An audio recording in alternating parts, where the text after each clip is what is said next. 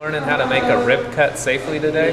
We're going to use the table saw to make this cut and I'm going to show that rip cut here in a moment. But I just want to go through a couple of the safety features real quick and just kind of familiarize you with the saw and how to be safe using it.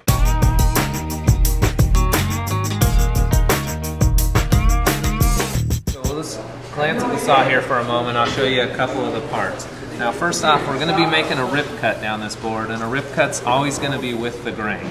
So the table saw is usually the tool that we're going to make a rip cut with. Occasionally we use a bandsaw or something else, but for the most part we're going to make that rip cut on the table saw.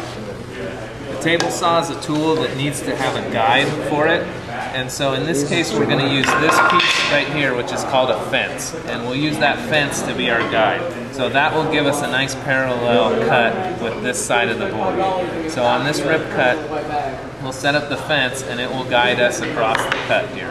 Okay. Now when we set up for this cut, first thing we have to do, as always, is set the blade up. What we prefer to have it one tooth higher than the wood. That way it prevents the wood from, if the wood raises a little bit, it will still cut all the way through but at the same time it keeps the blade fairly low so that our chance of running our hand across it is also low. Okay?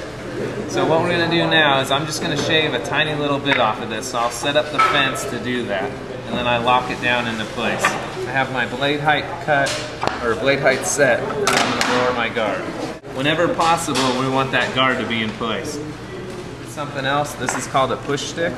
And what this will do is it'll guide it. And whenever my hand's gonna be close to the blade, I prefer to use this push stick. With the push stick, just keep a little bit of space between the fence and then you're gonna wanna squeeze it and hold it down. Now as I cut this board, my left hand is going to plant right here on the table saw and it's not going to move. I don't want to have any forward pressure because I don't want to push my hand into the blade ever. Just in case this jars, I don't want to be shoved into the blade. So my hand just plants and it does two things. My finger holds it tight against the fence, my thumb holds it tight against the table saw. And then I'll transition to the push stick later.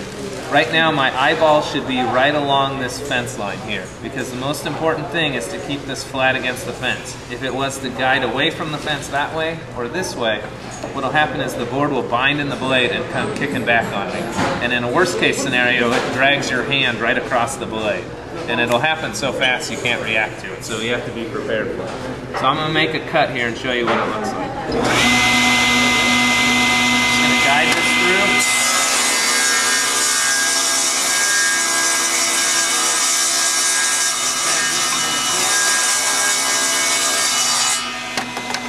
All the way through the blade.